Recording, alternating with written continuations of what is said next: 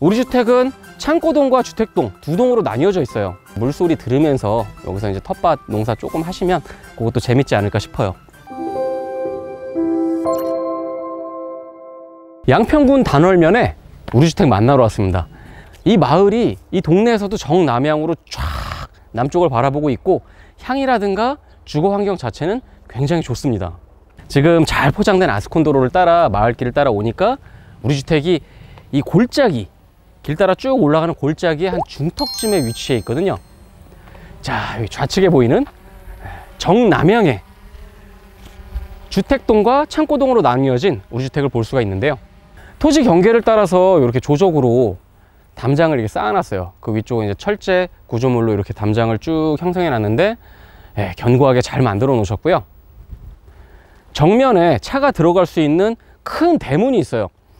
지금 차를 댈 수 있는 곳에 이렇게 포장과 디딤석을 설치를 하셨는데 최소 두 대 그리고 약간 안으로 더 들이켜 갖고 돼 갖고 연접 주차하면 네 대까지도 될 수 있어요. 주택에 딱 들어오면 연마당이에요. 앞쪽에도 약간의 잔디밭이 있지만 좌측에 이렇게 한 켠으로 해 갖고 널찍한 잔디밭이 있고요. 평평한 평탄지는 아니고 약간의 굴곡이 있는 지형이에요. 뒤쪽 자연석 석축 사이사이에 이렇게 화초도 심으시고 관리를 하셨는데 올해 이제 관리가 좀 안 된 모습이 보이고요. 건물에 붙은 면 쪽으로도 이렇게 화단을 형성을 해 놓으셨어요. 화단 형성해 놓으시고 뒤쪽 창고로 들어갈 수 있는 입구도 좌측에 배치가 되어 있고요.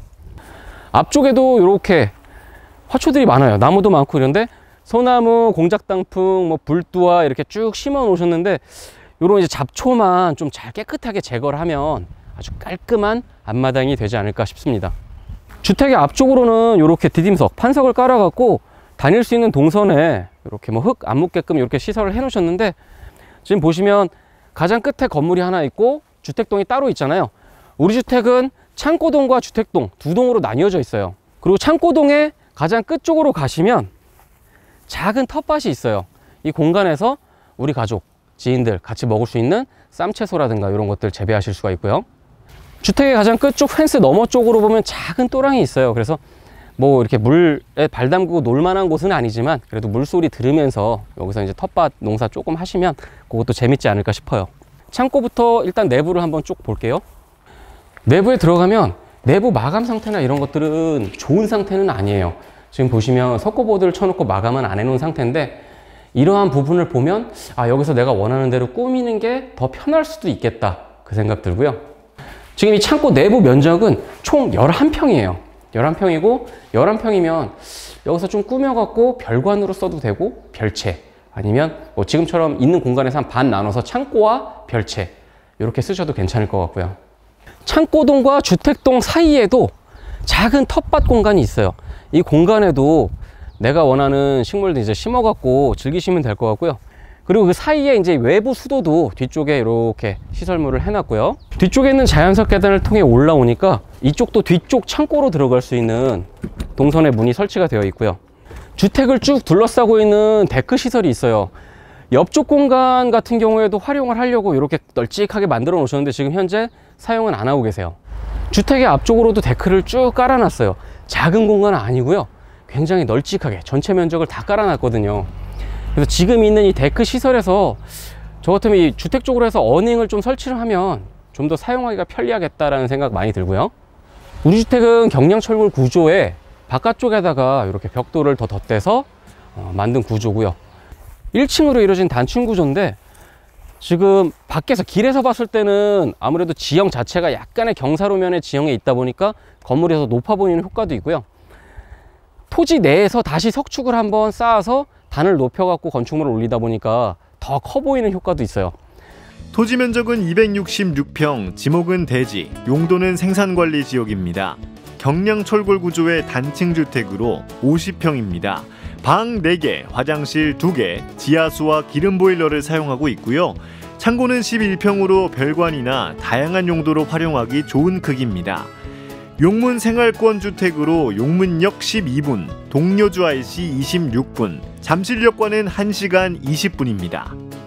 주택의 현관문 앞쪽으로는 이렇게 천정 쪽에 포치 공간을 형성을 해뒀어요. 이거 같은 경우에 차후에 시설을 조금 더 이렇게 덧대서 만드신 것 같아요. 그 현관문을 열고 들어가면 전실의 크기는 30평대 아파트 전실 크기라고 보시면 될 것 같고요. 삼연동 중문을 통과해서 주택 내부로 들어가면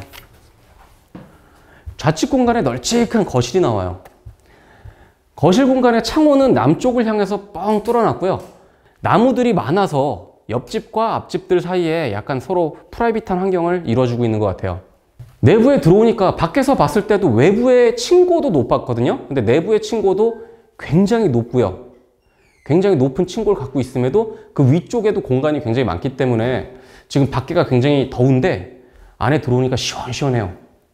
거실의 반대편 공간으로는 키친룸이거든요. 키친룸과 거실 사이에 이렇게 파티션식으로 칸막이를 하셨는데 저는 요거는 좀 헐어버리는 게 더 시원시원하지 않을까 생각도 들어요. 키친룸 같은 경우에는 기역자 형태로 싱크대를 배치를 했고요. 좌측의 빈 공간은 지금 현재는 이런 작은 냉장고를 갖고 있지만 큰 냉장고 놓을 수 있는 공간이 있고요. 주방의 가장 안쪽에는 문이 하나 있어요. 문을 열면 주방 뒤쪽에 배치된 다용도실을 확인할 수가 있고요. 뒤쪽에 창고 겸 다용도실 자체의 크기가 작지 않아요.